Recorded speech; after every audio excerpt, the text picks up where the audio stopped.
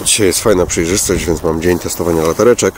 Tutaj Wurkos przysłał mi DL06. To nie jest terenowa latarka, jest stara, już ją kiedyś miałem. Ze dwa lata temu też robiłem jej filmik nad morzem. Tylko tym razem Wurkos zrobił coś takiego, że zrobił takiego tailcapa z ekranikiem dla nurków. Ja nie nurkuję, ale pokażę mniej więcej, że tu się coś robi. No i teraz włączając to, pokazuje mi jaką ma temperaturę. 16,5 stopnia, no bo leżała w plecaku. Trochę zmarzła, ale jednak trzyma tą temperaturę z mieszkania.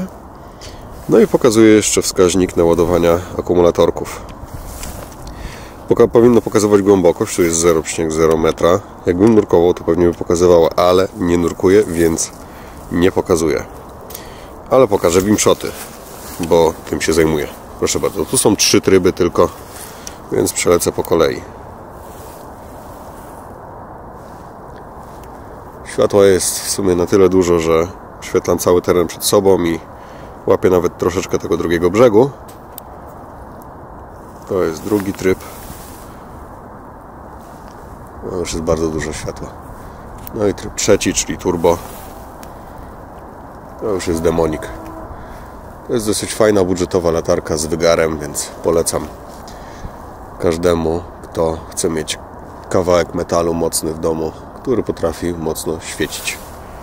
No i jakby to UI też jest fajne, bo zobaczcie, że tu mamy pierścień, który obracamy i zmieniają nam się tryby, nie? Mamy też rączkę, więc jak nam się zagrzeje, to możemy sobie za nią złapać. Dobra, jeszcze raz turbo.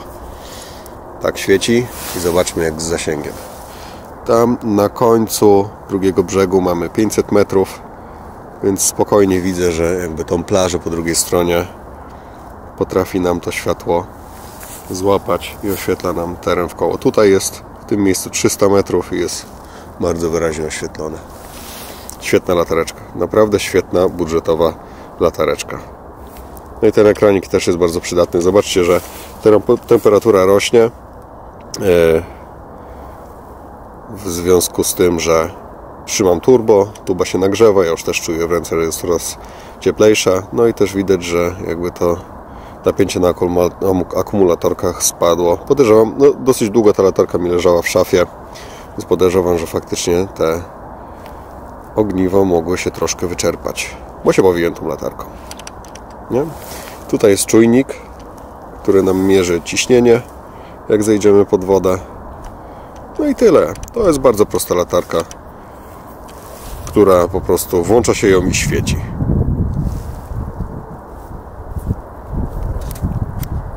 No i tyle. Dziękuję bardzo. Dobranoc.